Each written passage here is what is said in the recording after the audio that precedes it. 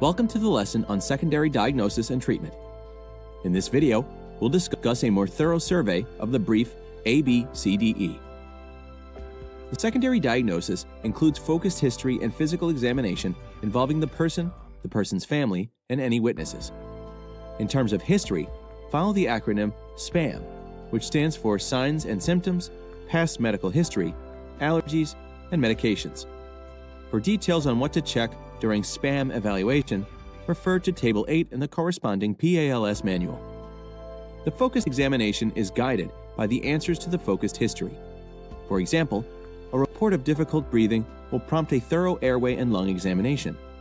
It may also prompt a portable chest x ray study in a hospital setting. The key point is that it's best to work from head to toe to complete a comprehensive survey. Make use of diagnostic tools when possible to augment physical examination. This concludes our lesson on secondary diagnosis and treatment. Next, we'll review life threatening issues.